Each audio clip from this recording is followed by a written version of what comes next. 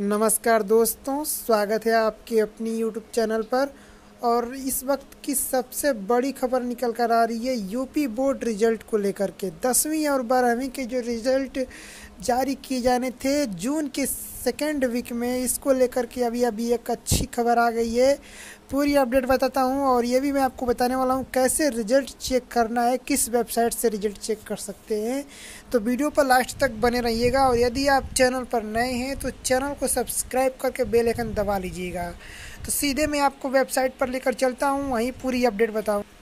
तो दोस्तों, वेबसाइट की बात करें तो सरकारी रिज़ल्ट पर जाकर के वहाँ से आप डायरेक्ट रिज़ल्ट नहीं चेक कर पाएँगे, क्योंकि सरकारी रिज़ल्ट पर अभी यूपी बोर्ड का रिज़ल्ट घोषित नहीं किया गया है।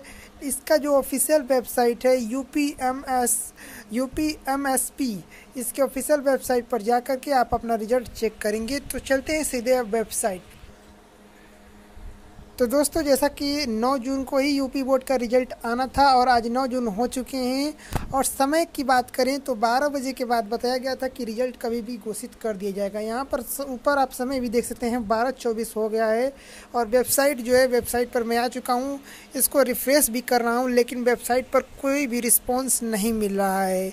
जबकि यहाँ पर रिज़ल्ट जो है, दिखना चाहिए। इसका मतलब ये है कि अभी फ़िलहाल ये रिज़ल्ट अपलोडिंग पर लगा हुआ है। अब से कुछ ही देर एक घंटे के अंदर ही रिज़ल्ट आपको देखने को मिल जाएगा।